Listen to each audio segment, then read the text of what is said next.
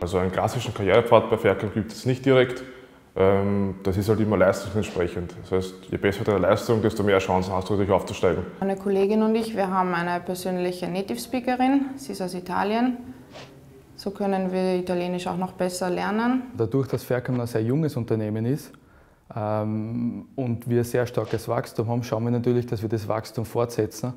Und im Zuge von dem Wachstum werden ja erst die ähm, Führungspositionen, die richtigen, die werden erst entstehen in Zukunft. Wir haben jährlich Kurse, ähm, Verkäuferschulung, Verkaufsschulung, ähm, dann eben Flechterreisen, dass man immer dabei ist und man sieht, wie das auch ist. Wir haben einen gut strukturierten Weiterbildungsplan, dadurch, dass wir mindestens einmal im Jahr auf eine Verkaufsschulung fahren. Jeder Mitarbeiter hier hat eigentlich die Möglichkeit, dass er aufsteigt in Zukunft, dass er sich persönlich entfalten kann und dass er, wenn er wirklich Führungsqualitäten hat, dass der gefördert werden.